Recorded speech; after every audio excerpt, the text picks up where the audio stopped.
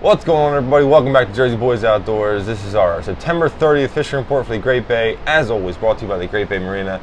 Well, guys, obviously you can tell we are not in the studio. We are down in the Outer Banks, North Carolina, with our family on vacation. Um, and I tell you what, we have just hit 1,000 subscribers. Thank you guys so much. Mara and Steve, you're the best. Uh, Mara was our 1,000 subscriber. Um, we really appreciate that. That's awesome. Thank you guys so much. Guys, also, we just released a video uh, with Bayside Dave how to surf fish for stripers. If you haven't watched that yet, check it out. Super helpful if you're looking to surf fish for stripers. Yeah, and also there will be a thousand subscriber giveaway coming up, so stay tuned for that. You're not going to miss it. But let's get into the report for this week. All right, well, we have some uh, stripers and blues making their way into our picture. Don Denson was roll, uh, trolling the Mullica River with a Mann's Stretch 25 and was able to catch three nice stripers, including this one here. Captain Andy from Riptide Bait and Tackle had Jerry T stop in with this keeper striper, uh, caught while using a topwater plug in the back bays of Brigantine. Uh, Captain Andy also said uh, that they are having a lot of action um, in the surf down there in Brigantine with blues, kingfish, and, and um, spots. Uh, speaking of bluefish, Don Delvecchio got into a school of blitzing bluefish north of Seaside. Uh, he was fishing off the surf and said that it was a fish for every cast for over an hour.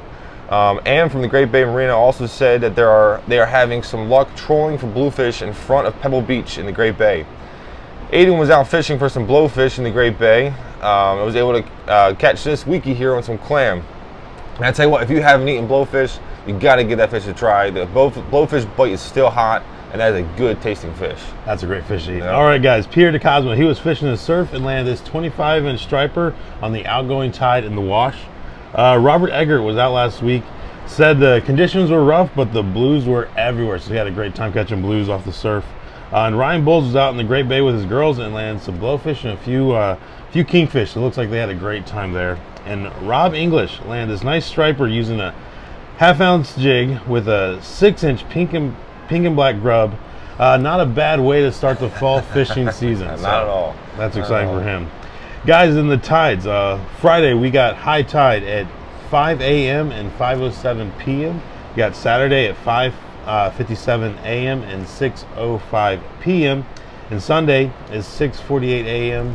and 6:57 p.m. And the weather is looking really nice.